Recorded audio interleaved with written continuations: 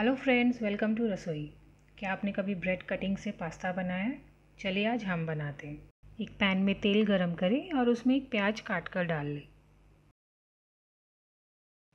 प्याज को हल्का सेकें और एक चम्मच कटी हुई लहसुन ऐड करें।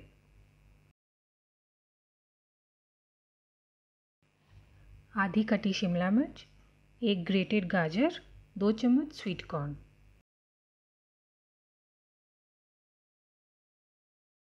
मेरे पास दो उबले आलू भी थे जिनको मैं ऐड कर रही हूँ, जिससे ग्रेवी थिक हो जाएगी बट ये ऑप्शनल है। एक चौथाई चम्मच हल्दी पाउडर, आधी चम्मच लाल मिर्च, नमक स्वाद अनुसार। एक छोटी चम्मच चिली सॉस, एक बड़ा चम्मच टोमेटो केचप। एक छोटी चम्मच ऑरिगेनो, थोड़ा सा दूध। अगर आपके पास ऑरेगेनो नहीं है तो आप थोड़ी सी अजवाइन भी पीस कर डाल सकते हैं।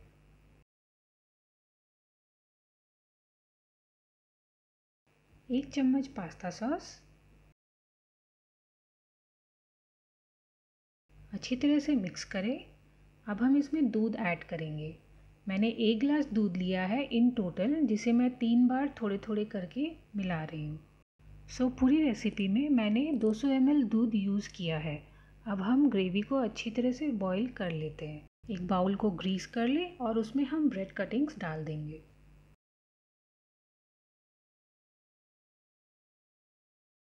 अब तैयार किए हुए मिक्सचर को अच्छी तरह से फैला दें।